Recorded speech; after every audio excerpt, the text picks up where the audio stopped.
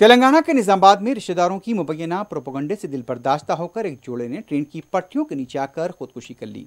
मुतवफियान की शिनाख्त अट्ठाईस साल अनिल और चौबीस साल शैलजा, साकिन, हेगडोली, पुदगल मंडल से की गई। खुदकुशी से पहले इस जोड़े ने एक सेल्फी वीडियो रिकॉर्ड किया और उसे पुलिस के पास रवाना किया।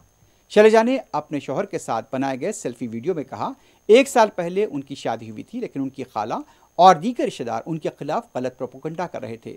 इस वीडियो के बाद दोनों लापता हो गए थे, लेकिन उनकी लाश पटरियों से दस्तियाब हुई।